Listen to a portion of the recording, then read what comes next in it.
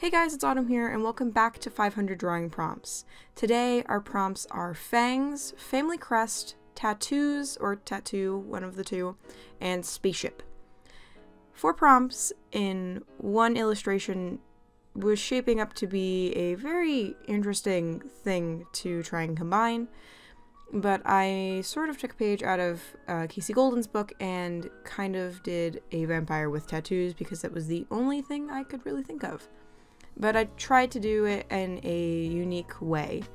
Um, I gave her a spaceship themed shirt in the illustration, and uh, I actually kind of like the doodle that I did in the sketchbook, and I'm not as much of a fan as I was, or I don't like my finished illustration as much as I liked this uh, doodle, because I feel like it had more character and more life to it, but sketches tend to be that way, so there's nothing much I can do about that.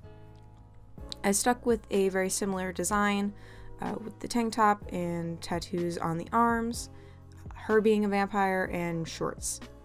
I ended up shrinking it down from a full body view to um, about waist height so you can see the shorts. And I kind of doodled around with family crests and space ideas, and that was it. I didn't draw as much for this one because I kind of had an idea right away, so I hopped right into drawing on my iPad and then transferring that over onto a piece of my Bristol board. So the doodle turned into this, and I feel like the proportions are completely off, but it's what I'm working with. So I stuck with a pretty simple color palette with uh, cool grays for shading and less highlighted areas, and warm grays for actual colors such as the shirt and I did use it for shading on the eyes as well because her eyes are a cool green. And there's not really a whole lot to say about the illustration other than that. It's another Copic piece, and I just kind of worked with what I had and gave her a bunch of tattoos. My favorite part of this illustration, I have to say, I think is her rocket ship t-shirt because I want one now. And I tend to find that I always want the t-shirts that I put my characters in. So maybe that's saying something. Maybe I should just make a bunch of t-shirts. The like armband style tattoos weren't meant to represent anything. I just thought they were cool. And she's got her family crest, or assumably her family crest, up on her shoulder. That would be all of the prompts included. The fangs are kind of like a small part of this illustration, like you can see them, but they're not as big as, say, the tattoos, the family crest, or the rocket ship in this one. But I tried to balance it out as much as I could. Another thing I wanted to do with this one was do a character on a background, but I honestly didn't have any time this week to do that. So instead I went with a basic character design, and I'm hoping that the next time I work on the series I will have the time to do a full piece and not just a character on a white background. Because I'm trying to stay steer away from that and create more finished uh, illustrations as opposed to just character designs. I do feel though that my characters have kind of got same face syndrome going on, which I'm kind of upset about, but I'm working on getting through that and trying to make them all look unique. I think though that she looks a lot like my goblin character because she's got the pointed ears and a relatively similar face shape, although my goblin character's face is a bit smaller. So there's that. There's not really much else to talk about in this video. I kind of am out of things to talk about and just wanted to make sure I got something done. I will try to be a little bit more lively in the next couple of videos. I've just been tired and working a lot, so you'll have to pardon me for that. So I'll leave you guys with some relaxing music for the rest of this video, and I'll see you guys next week. Bye everyone!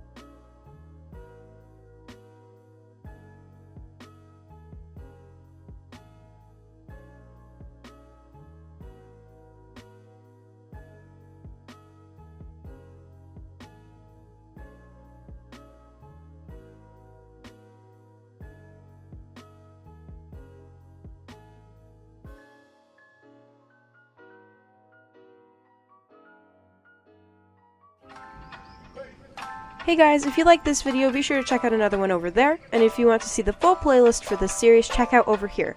Thank you for watching, and subscribe if you like, and I'll see you in the next one. Bye everyone!